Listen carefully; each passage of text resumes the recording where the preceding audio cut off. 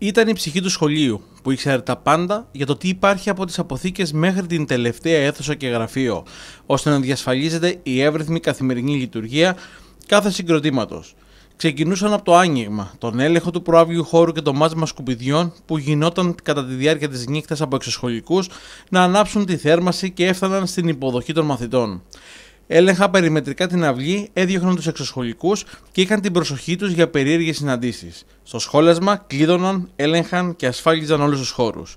Όλα όσα προαναφέρθηκαν ήταν στις αρμοδιότητες του σχολικού φύλακα, που μπορεί εν μία νυχτή πριν δύο χρόνια να βρέθηκαν στο δρόμο, ωστόσο από αύριο επιστρέφουν ξανά στη θέση τους. Σίγουρα μετά από δύο χρόνια ταλαιπωρίας ε, και μιας άδικης ε, απομάκρυσης, γιατί δεν έγινε χωρίς κάποια αξιολόγηση, χωρίς τίποτα και ενώ το κράτος ε, έπαιρνε και άλλους ε, υπαλλήλους, είτε ως πεντάμινα, οχτάμινα, είτε και ως μόνιμος, οπότε μπορούσε να χρησιμοποιήσει κάπου, άλλο, κάπου αλλού.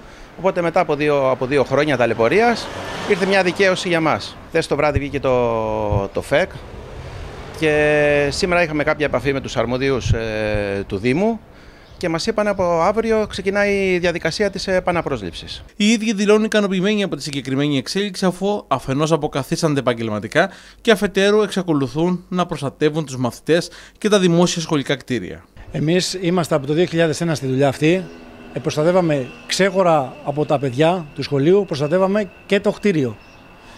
Ε, από σχολικούς, από ζημιές. Εμείς δουλεύαμε και, το, και τους καλοκαιρινούς μήνες που πολλοί δεν το γνωρίζουν και Χριστούγεννα και, και τις ημέρες των διακοπών του Πάσχα.